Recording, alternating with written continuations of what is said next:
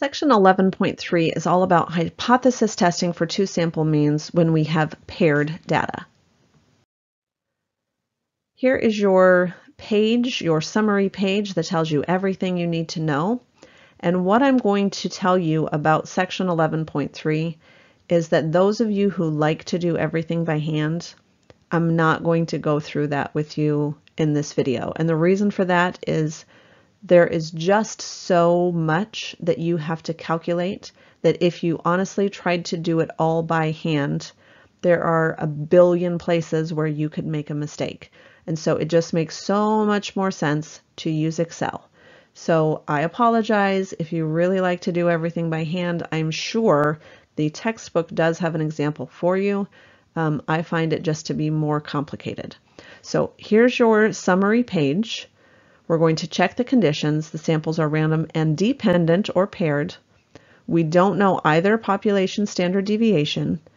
Again, either both N1 and N2 are greater than or equal to 30 or both are nearly normal. This is a t-model as well and the degrees of freedom of the t-model is just n minus 1, where n represents the number of pairs of data. So remember, this is going to be like a before and after situation. So even though there's going to be more than n pieces of data, there's going to be n pairs of data. Now, all of the things that need to be found, and this is again why we're going to use Excel, because there's just a lot of ways to make a mistake, is the mean of paired differences. So we need to essentially find all of the differences. So take the second pair of data, and this is key. This is key whether you're doing this by hand or not. To find the differences, you take the second observation minus the first observation. Please put a big star next to that so that you remember, because the biggest mistake I see people make is putting them in the wrong order. So second minus first. And then again, the mean of paired differences would basically being finding all of the differences and then finding the average. The test statistic, or t-score, is going to be whatever we find for our mean of paired differences minus the hypothesis, hypothesized differences, divided by the square or the standard deviation of the differences divided by the square root of n. So even though d bar is not difficult to find, this guy right here, deceptively difficult because again, several, several, several columns where we would have to find all of the deviations of each value from our mean and then square it and then divided by the square root of one or divided by n minus 1 and then take the square root and that's the standard deviation and then plug that value into find a t-score. So shoo, do yourself a favor and don't do that. um, and then of course still the critical value, still the p-value, still the same way to draw a conclusion. I'm going to do two examples with you. And again, what we're going to do is read the question together, reason through the things that we need to know, and then go straight to Excel. Um, again, we're not going to be doing any of this by hand just because there are a lot of ways to make mistakes. So the standard course at a local defensive driving school includes several films depicting violent car crashes, and the driving school has shown these videos for many years, believing they reduce the students' average speed on a highway. A group of concerned citizens feel these videos are disturbing and are not convinced the videos reduce highway speeds enough to make a significant difference. In fact, the group claims these videos reduce a person's speed on the highway by less than 5 miles per hour on average. So let's stop right there for just a minute. This is the most difficult part of this particular question because it's kind of worded weird.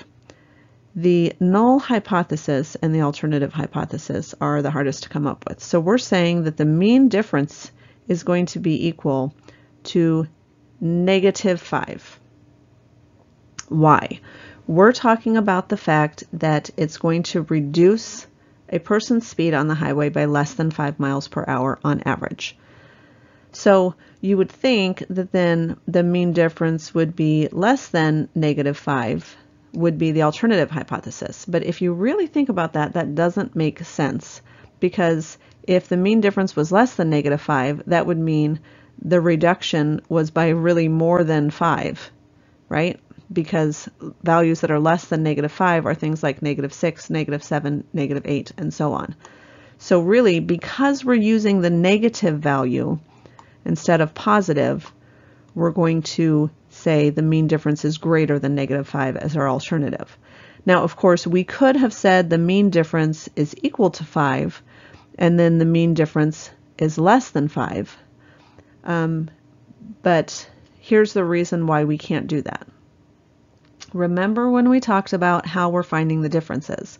We're going to take the second speed minus the first speed. We said this is what we're going to do for each difference, and then we're going to find the average of those differences. So if the second speed is less than the first speed, then we're going to get a negative value. And that's what we want, right? Because we want those numbers to decrease. So again, this is the hardest part to get around on this particular question. Most of the time they're not that difficult. Uh, but this is what we're going to go with because if we used positive 5, using this, that would mean that the, this is a plus sign, not a t. That would mean that these values are going to be positive, and we don't want that to happen. We don't want the second speed to be greater than the first speed um, because then that would mean that they're actually increasing speed. So the videos really suck. Okay, hopefully that made sense. So cross this guy out and on we go. So the group claims these videos reduce a person's speed by less than 5 miles per hour on average. To test the claim, the citizens install EDRs on the vehicles of 10 volunteers. Um, and again, that's going to be N. The number of um, pairs of data is going to be equal to 10. And so they're going to drive for two weeks. They're going to watch the videos and then they're going to drive for another two weeks after they've watched the videos and they're going to compare, essentially, is what they're saying.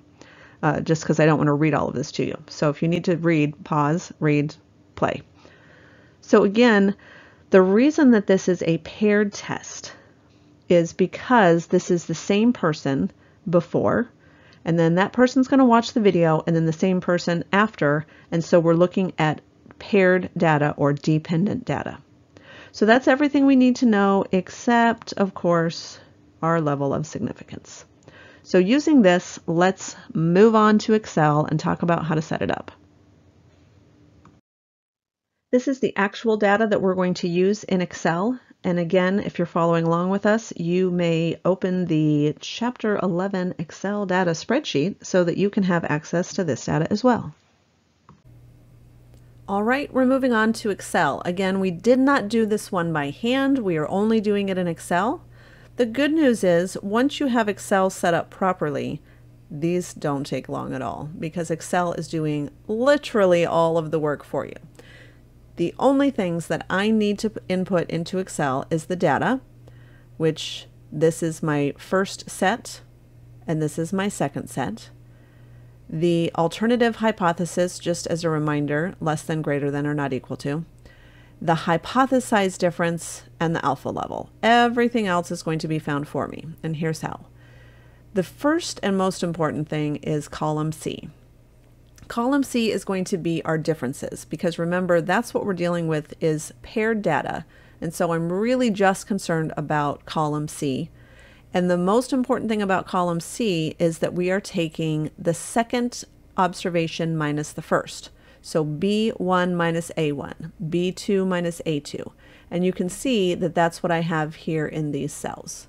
Now the easiest way to do that is to do it once and drag it down for as many pieces of information as you have.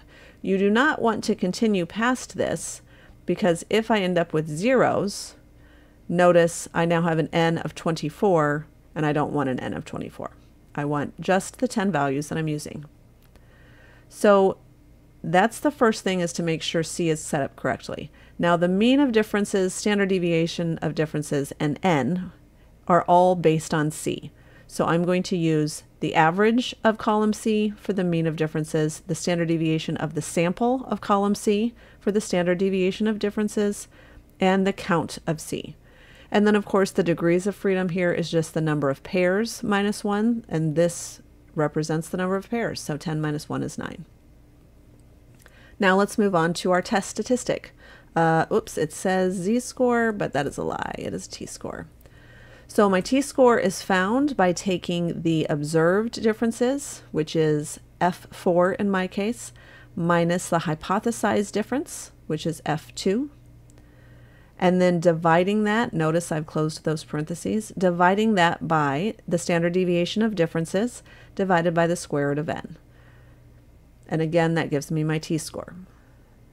Then I'm going to look at my critical value. My critical value is either t inverse of alpha degrees of freedom, t inverse of 1 minus alpha degrees of freedom, or for two-tailed, t inverse two-tailed uh, alpha degrees of freedom.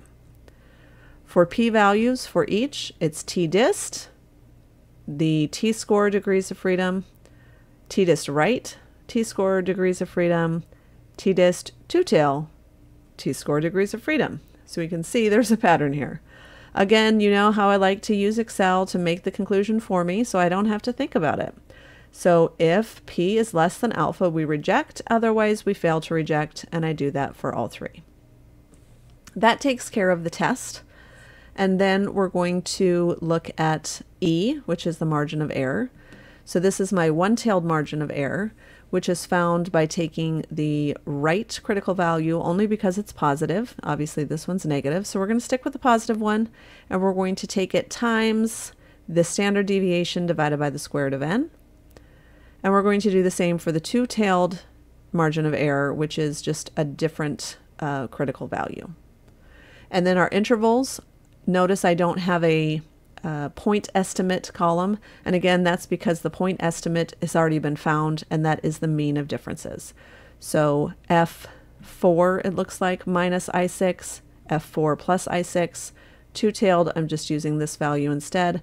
F4 minus K6, F4 plus K6.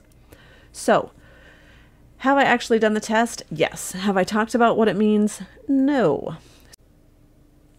So with P, oops, sorry, with, watch out for that spell check because it doesn't happen in a text box. With P equals 0.043 less than alpha, I reject the null hypothesis. At the 5% level of significance, there's evidence that after watching the videos, the mean reduction in highway speeds is less than, I forgot the 5, 5 miles per hour on average. We believe the true reduction in speed, again, this was a one-tailed test, so I'm looking at this interval, the true reduction in speed to be between 2.21 miles per hour and 4.93 miles per hour. Since the hypothesized value of 5 does not fall in the interval, this supports rejecting the null hypothesis.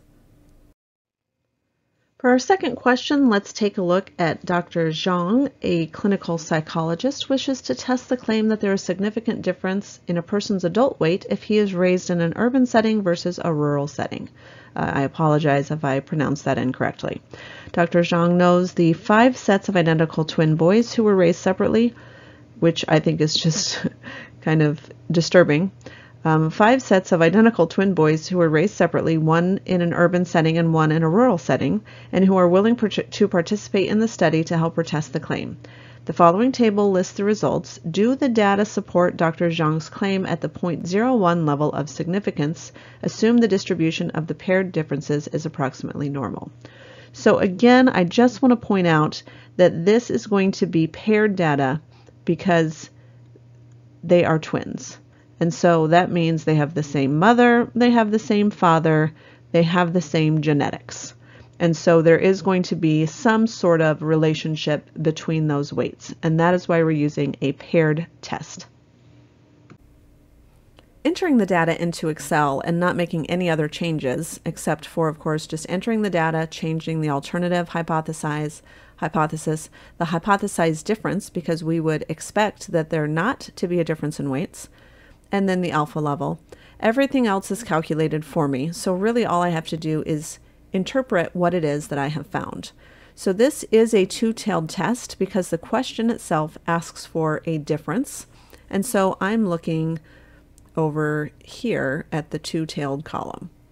And obviously I get a quite high p-value and a conclusion because p is greater than alpha to fail to reject the null. So what does that mean? Well, I've written it all out for us. With p very high compared to alpha, I fail to reject the null hypothesis. At the 0.01 level of significance, there's insufficient evidence that the alternative is true. And the alternative says that they will weigh different. So there's insufficient evidence that the twins raised in different settings will be a different weight. The true mean difference in weight between twins raised in a rural setting versus their urban twin is between, and again, this is two tailed, so I'm looking at the two tailed interval, is between 21.6 pounds less to 18.4 pounds more. Since the hypothesized value of zero falls in the interval, this supports failing to reject the null hypothesis. Coming up next, we're going to take a look at hypothesis testing for two sample proportions.